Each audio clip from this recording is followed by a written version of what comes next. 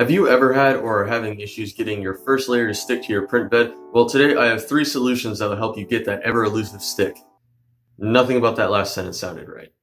Hey everyone, I'm Callum from CIR Inventions. Welcome back to the channel. If you're new here, I'm one of four people on this channel. I mostly focus on 3D printing, but if you're interested in tech reviews, biking, airsoft, and more, uh, consider subscribing today. Alright, let's get into the tips. As you may have guessed, this is actually one of the most common problems when people are 3D printing, and especially people who are new to it. Fortunately, I've gotten a little bit of experience, especially over the past year, so today I have ways to help you with that. So to start, solution one, and if you have not done this, don't even bother trying the other steps. If you have not done this, don't do the other steps because it's completely pointless trying to get your prints to stick if your bed is not level. If your bed is uneven, nothing else works. Now I'm going to assume that you already did that. So, you know, for simplicity's sake, I'm not going to be showing it off in this video, but if you do not already know how to level your bed, you can check out my video on it up here in the top right with the info card.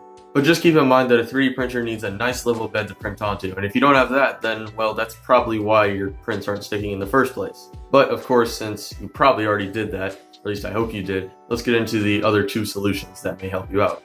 Solution number two is to clean your print bed. Now, if you haven't really been printing for long, you may have not seen the effects of this, but even if you've only printed a few prints, you might notice that it's starting to like turn white on the bottom of the print. And if this is happening, you're definitely going to want to start thinking about cleaning it off. Now cleaning it off is very simple, but first I just want to show you how dirty the bed gets very easily. No cleaning or anything, just pure scraping.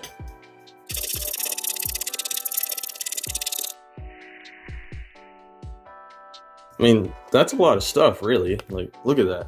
I mean, you probably just saw it getting scraped. That's a lot of dust just on the bed that you'll never see. This is surprising, right? Well, the good thing about cleaning your bed is it's very simple. There's only two things you need. One, you need rubbing alcohol, and two, you need an old sock. Now, I'll explain why you need an old sock in a second, but first, what you do is you put the rubbing alcohol onto this sock and just wipe all around your bed. The reason you would, would use an old sock over a paper towel or so is because paper towel can leave like flakes from the towel itself on the bed, therefore making it not as clean. But with an old sock, all the other flakes and whatnot, you know, you've already had the sock a while, so those flakes are going to be gone, so they won't be on your bed. And if they are, the flakes are a lot bigger than a paper towel flake, so you can just get them off really easily. Oh, and one nice bonus about using the rubbing alcohol strategy is that it makes your bed a little bit more tacky over time. It's not a huge difference, but it's a nice little bonus because if it's more tacky, it's more likely to stick. So that's nice. So solution number three, the last solution we're going to be going over in this video is using a glue stick. Now I actually have six of them over here. Of course, you only need one.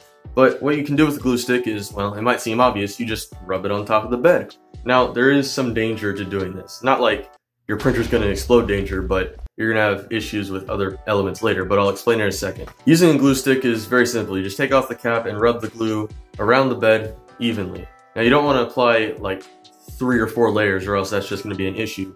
But if you apply one layer, it can help you get your print down and stuck. But there's two issues with using glue. The first one being it's only really a one-time use, and the second one being that it's really only a temporary solution because of it being a one-time use. But it does work, but you have to do one more thing after you're done printing. Whenever you put on glue, it does make the print bed slightly higher. Now, it may not seem obvious to just the naked eye. But when you're talking about 3D printing, that nozzle is only a tenth of a millimeter from the bed, so every layer of glue is going to make a big difference. This became actually a pretty big issue for me because I would level the corners of my bed just fine, but the middle was so much higher up and I couldn't figure out why. So what I did was I cleaned off my bed, and wow, look, it's all even and much easier to level.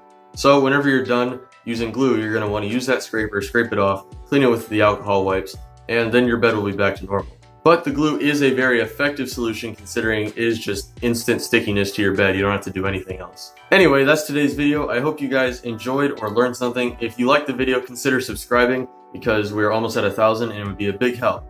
And if you want to see some other tutorial or some other 3D printing or my Ender 3 Pro review or something like that, I have a couple of video cards right here that you can check out. Anyway, I'm Cal from Sierra Inventions and I will see you in the next video.